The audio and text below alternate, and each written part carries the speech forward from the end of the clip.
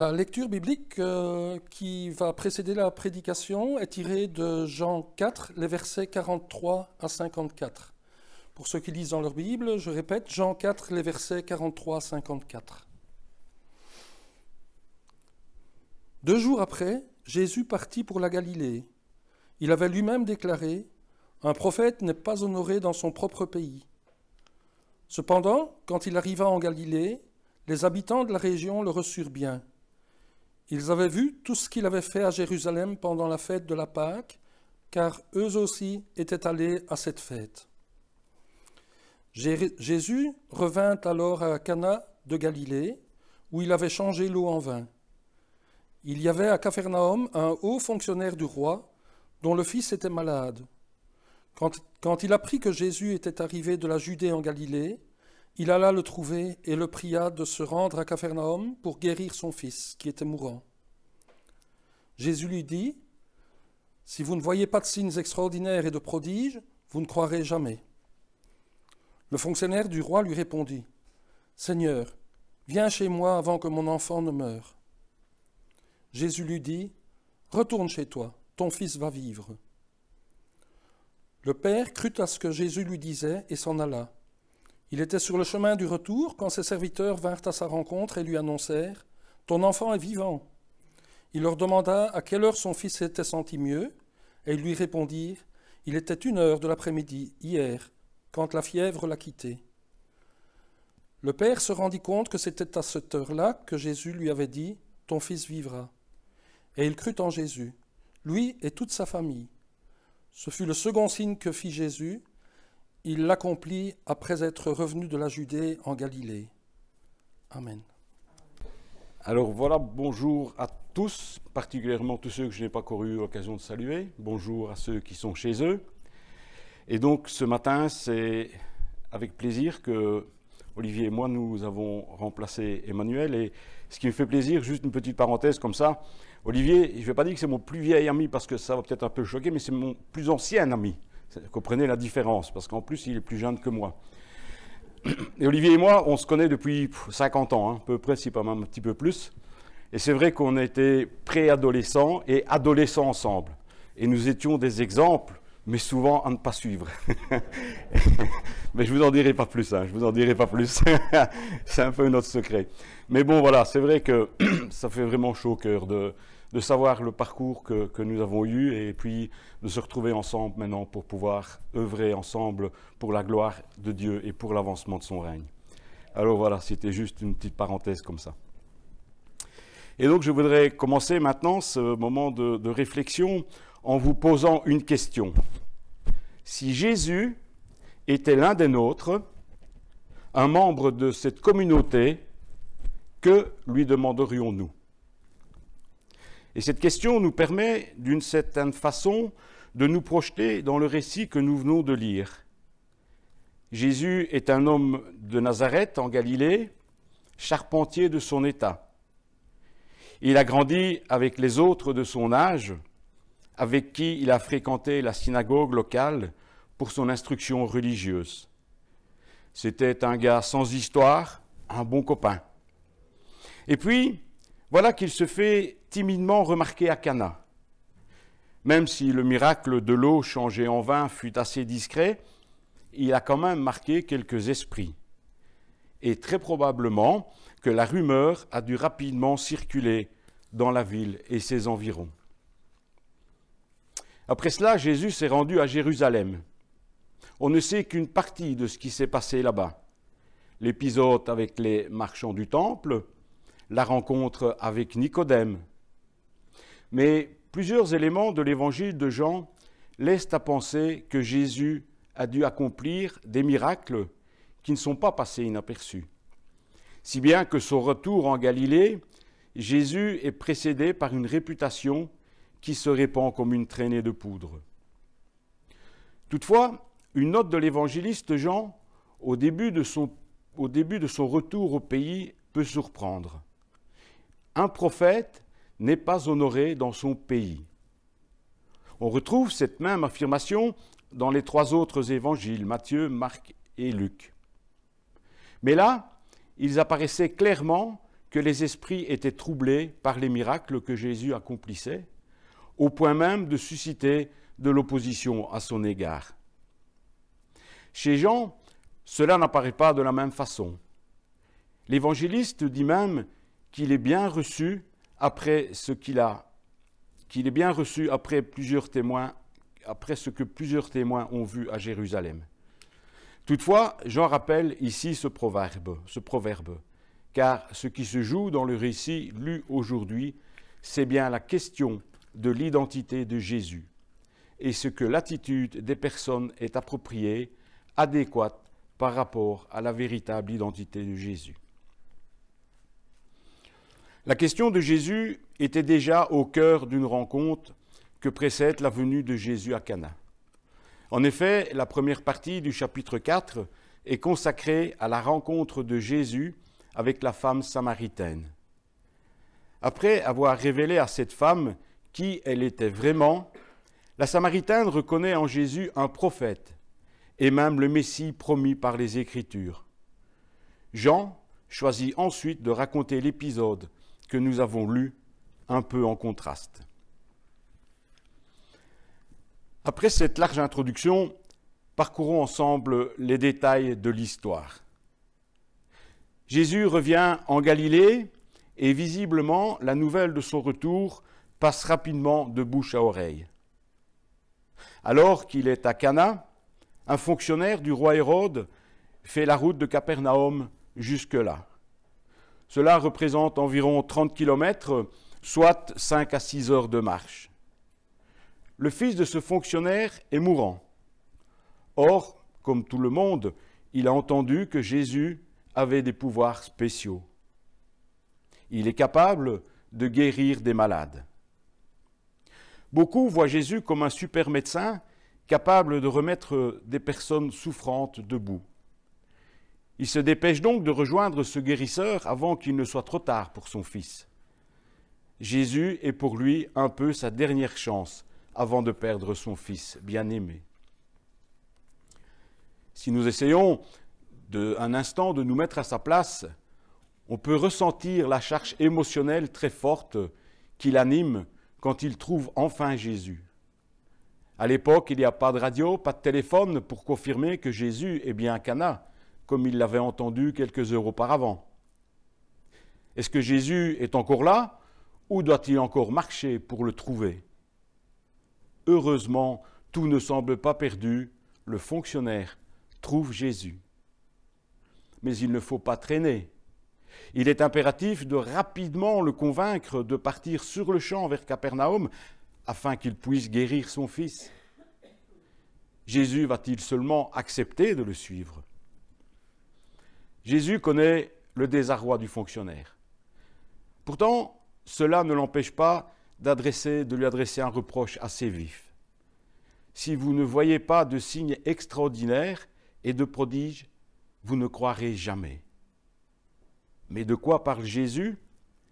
N'est-ce pas justement parce que le fonctionnaire a cru que Jésus pouvait guérir son fils qu'il a parcouru tout ce chemin jusqu'à lui? Pourquoi lui adresser ce reproche? Pourquoi être si dur avec cet homme dont le fils est mourant? Où se trouve l'amour de Jésus pour cet homme? Certes, le fonctionnaire croit Jésus capable d'accomplir un miracle en guérissant son fils. Pourtant, il ne, perçoit pas immédiatement en lui sa véritable identité. Comme beaucoup, il avait soif d'un miracle immédiat pour répondre à sa terrible souffrance présente. Mais il ne perçoit pas la signification profonde des signes miraculeux opérés par Jésus de Nazareth. On peut s'étonner de la dureté de Jésus à l'égard de cet homme. Pourtant, force est de constater que le fonctionnaire ne se laisse pas démonter et qu'il revient à la charge. Seigneur, Viens chez moi avant que mon enfant ne meure. L'homme semble répéter sa demande avec supplication. Est-ce l'affection du Père pour son Fils qui touche Jésus au cœur Ce n'est pas impossible. Toutefois, il existe un autre détail qui fait la différence. Un détail si anodin que probablement personne n'y a prêté attention en écoutant le récit. L'homme de Capernaum appelle Jésus en disant Seigneur. C'est en réalité la première fois qu'il est appelé Seigneur en Galilée. Cela s'était produit en Judée et en Samarie, mais c'est la première fois qu'une personne perçoit en Jésus le Nazaréen une autre identité que le bon gars, le gars sympa, le charpentier, fils de Joseph et de Marie.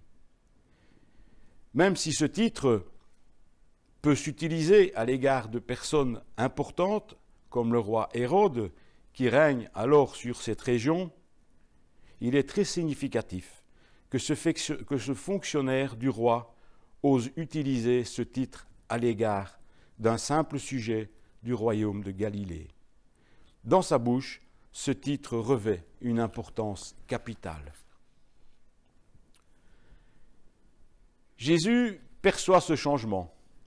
Il se rend compte que l'homme ne fait pas seulement appel au guérisseur, mais davantage à son identité de sauveur.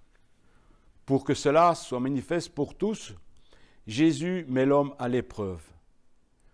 Il ne lui propose pas de le suivre jusqu'à Capernaum pour provoquer un nouveau miracle. Il dit simplement, retourne chez toi, ton fils va vivre. Est-ce que le fonctionnaire peut se contenter de cette réponse? Alors que son fils est sur le point de mourir En réalité, cela dépend de ce que signifie pour lui le mot Seigneur. Après les mots de, Jésus, l'évangéliste Jean nous dit que le Père a cru à ce que Jésus lui dit et s'en alla.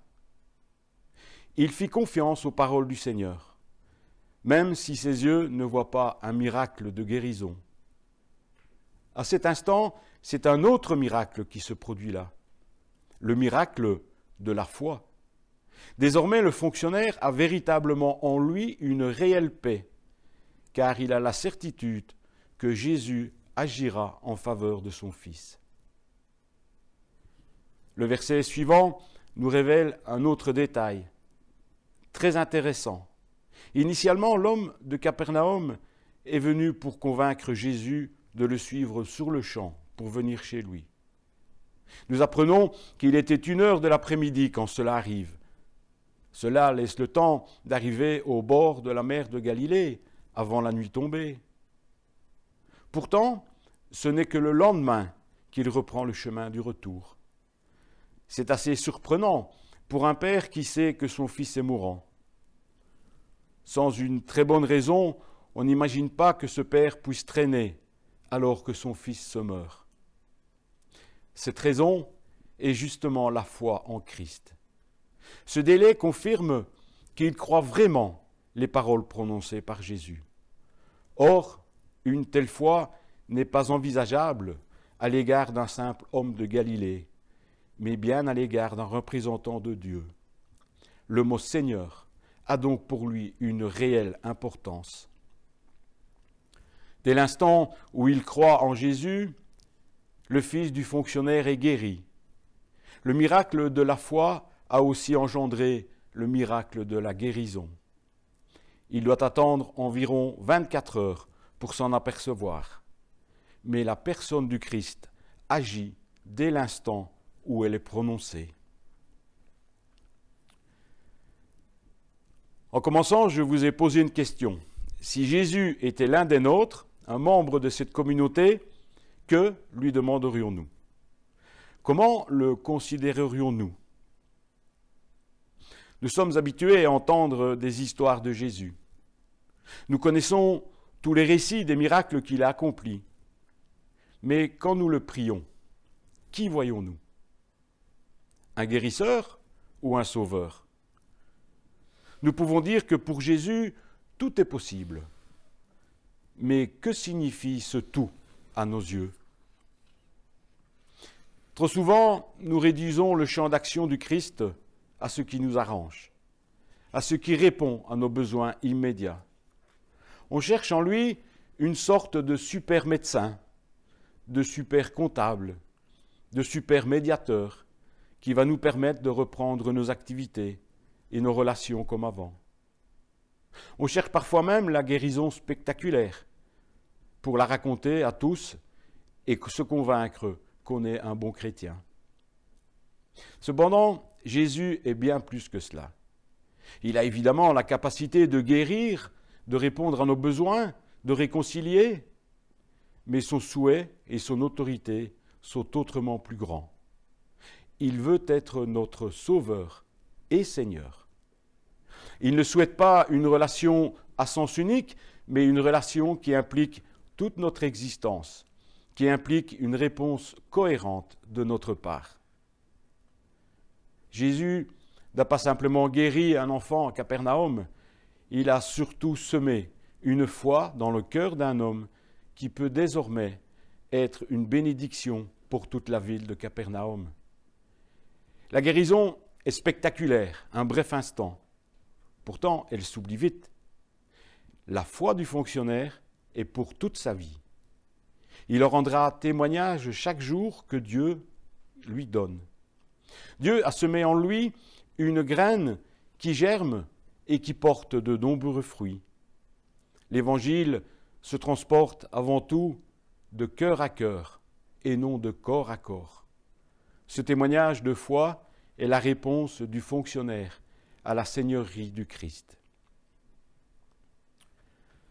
Ce récit nous rappelle également que Jésus n'a pas besoin d'être présent physiquement, présent pour agir. Où que nous soyons, quelle que soit notre situation, il a la capacité d'intervenir là même où personne ne peut agir.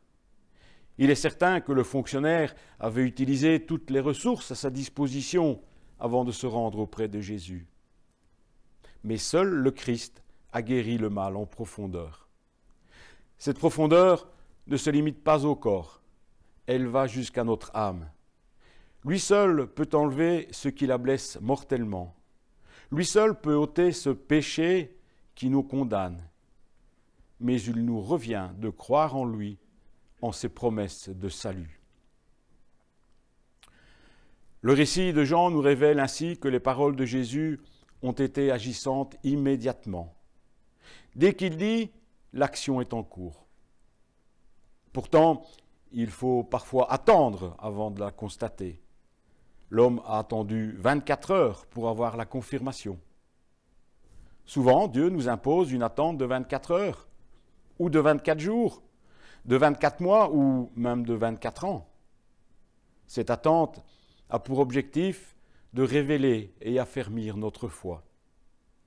Mais cela ne doit pas, ne doit pas nous faire oublier que les promesses de Dieu sont déjà efficaces dès le moment où elles sont prononcées, même si nous n'en voyons pas immédiatement les effets incroyables. Cela signifie qu'avant même notre naissance, Dieu a préparé les événements pour répondre à nos prières.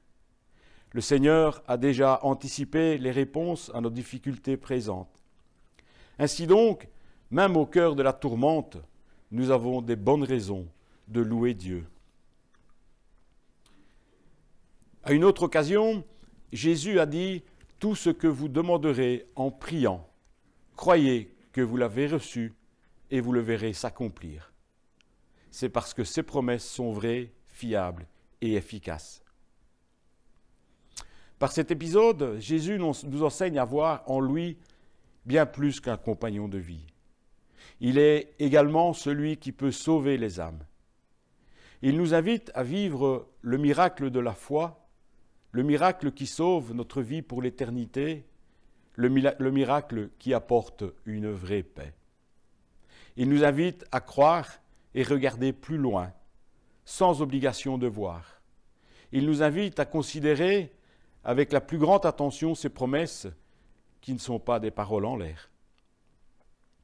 Quand nous prions en disant Seigneur, prenons conscience de ce que cela veut dire. Celui à qui on adresse ces mots n'est pas un distributeur de réponses à nos prières. Il n'est pas un magicien qui enchante il est vraiment le roi, le seul Dieu qui peut tout. Nous devons bien comprendre l'identité du Christ pour adopter l'attitude qu'implique une telle identité. Il n'est pas bon de dire Seigneur si nous n'acceptons pas le Christ comme Seigneur de notre vie, si nous n'écoutons pas ses paroles pour nous y conformer. Pouvoir dire à Jésus Seigneur est un privilège pour ceux qui croient en lui. En lui reconnaissant ce statut de maître de notre vie, il y agira de façon vraiment surprenante. Alors, nous arrivons à la conclusion. Par le passé, ce texte se trouvait dans le lectionnaire pour le dimanche de la Réformation. Et c'était un choix très pertinent. Une saine réforme dans l'Église ne peut pas faire l'économie d'un acte de foi en reconnaissant l'identité de Jésus comme le Christ, notre Sauveur. Si Jésus était dans une église recherchant le spectaculaire, ce qui est visible et palpable, Jésus lui adresserait le même reproche qu'aux Galiléens.